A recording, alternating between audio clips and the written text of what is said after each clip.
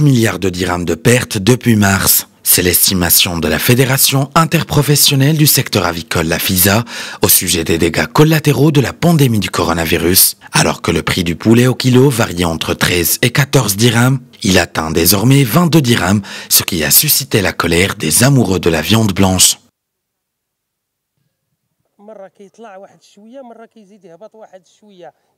Le prix du poulet est fluctueux.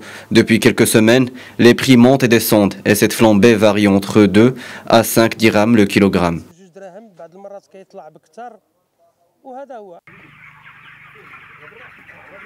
La Fédération interprofessionnelle du secteur avicole, la FISA, elle, affirme qu'elle comprend parfaitement les préoccupations des consommateurs face à cette subite augmentation des prix. Néanmoins, la Fédération prie les consommateurs de reconsidérer la détresse des éleveurs lourdement affectés.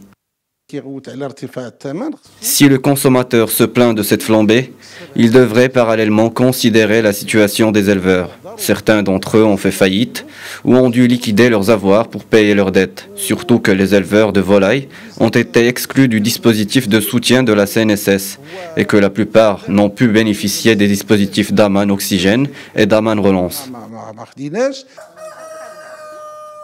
Après la flambée des derniers jours, l'interprofession entrevoit un retour à la normale dans les semaines à venir. Selon la FISA, la décision de fermeture des hôtels, restaurants, réfectoires et salles de fête, combinée à l'annulation d'événements et à l'arrêt de l'activité des traiteurs, a fortement impacté la demande pour les éleveurs. Et cette crise a affecté le secteur avec des pertes colossales depuis déjà six mois.